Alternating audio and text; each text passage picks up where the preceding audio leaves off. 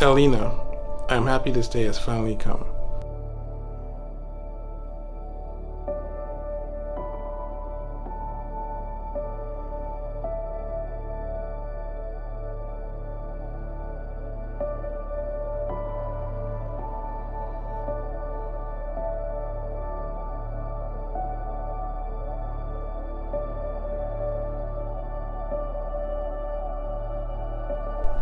God made you just for me, an inquisitive mind, blessed with intelligence, beauty, tenacity, and wit. You're everything I could ever need in a wife.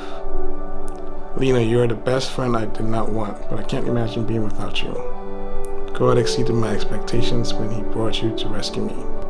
You are my love, my chosen companion to navigate the peaks and valleys of life. You are the one I want to spend lazy days in our home with and hectic adventures abroad exploring until we're old and gray.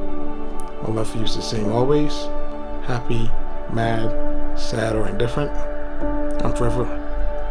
I'm forever your human mattress. I love you. Jemmy, my love, thank you for being trustworthy of my whole heart.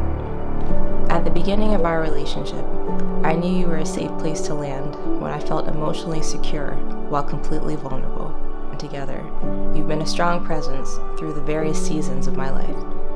Thank you for allowing me to experience one of the greatest joys of my life to love and be loved by a man. Your love for me makes my heart full.